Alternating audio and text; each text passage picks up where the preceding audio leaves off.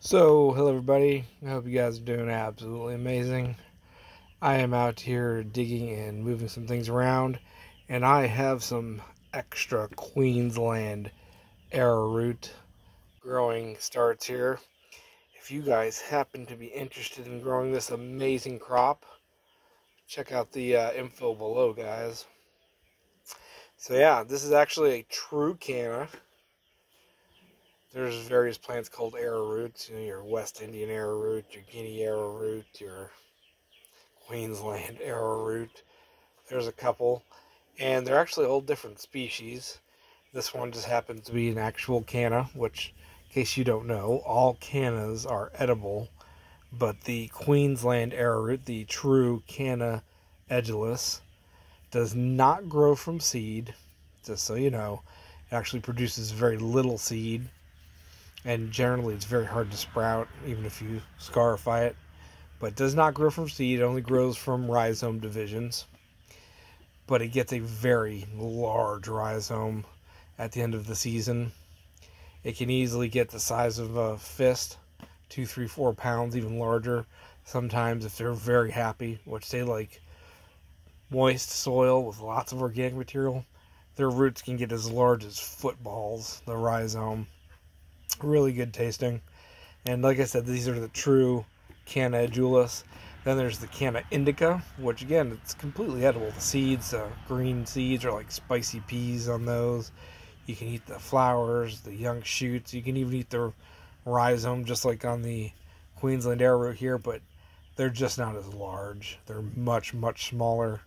Some varieties, depending, can get slightly thickened rhizomes, but nowhere near the size that the true Adulis gets. Edulis, however you want to say it. And uh, yeah, just a super easy to grow crop. It can grow in mucky soils if you've got a really wet spot, or it can grow in just standard garden soil. No problem whatsoever. They're very easy to grow, not picky at all. Basically, nothing bothers them. Not really any diseases, not really any pests and you just let them grow. They're very ornamental. And this is a green variety, though there are some reddish ones. This one's green fire, actually. It's a Vietnamese variety. Super productive. Super, super productive.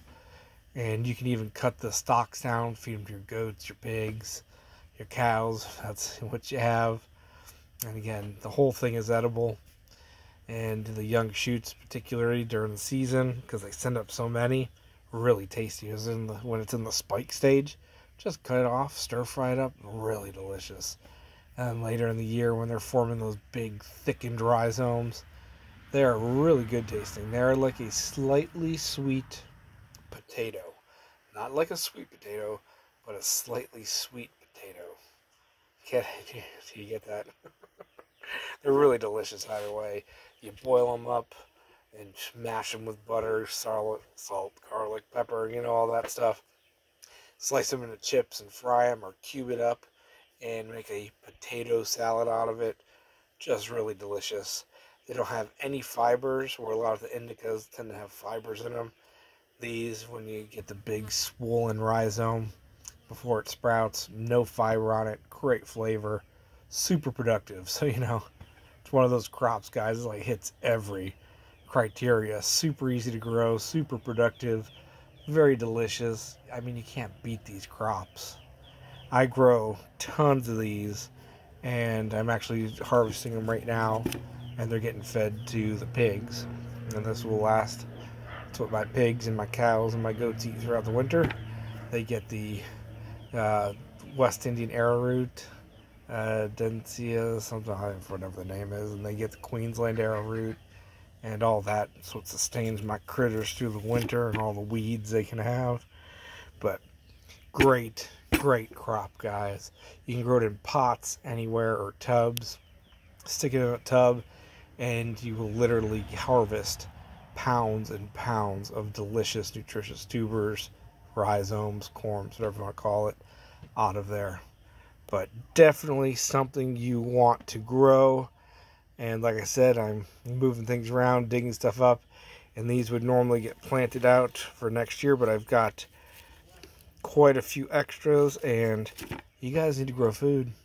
I want to spread things around that are productive and easy, and this is really a crop I, I really stand by and think people, especially in the South, anywhere in the South in the U.S., can grow to the ground, and it's just so easy. It's calories in your belly, guys, nutrition in your bellies for your brain, for everything to keep going, for the BS that is getting thrown at us. You got to grow food, you got to grow nutritious things, got to grow easy things.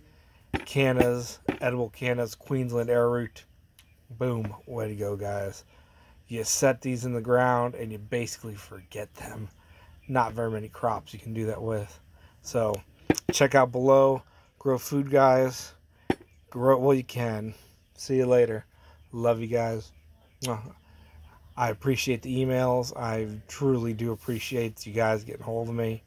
And uh, I am by no means anybody special, but I do my best to make sure and to get out there that uh, there are crops and things that you can do to feed your family. You know, this is what I do. It's how I feed my family. So feed yours and make sure you can keep doing that and do it the most productive, easiest way possible, guys. And hopefully, I'm maybe doing a little part in that, showing you guys all these crops that I've found and grown over the years. And hopefully, they will do some good for you. See you later.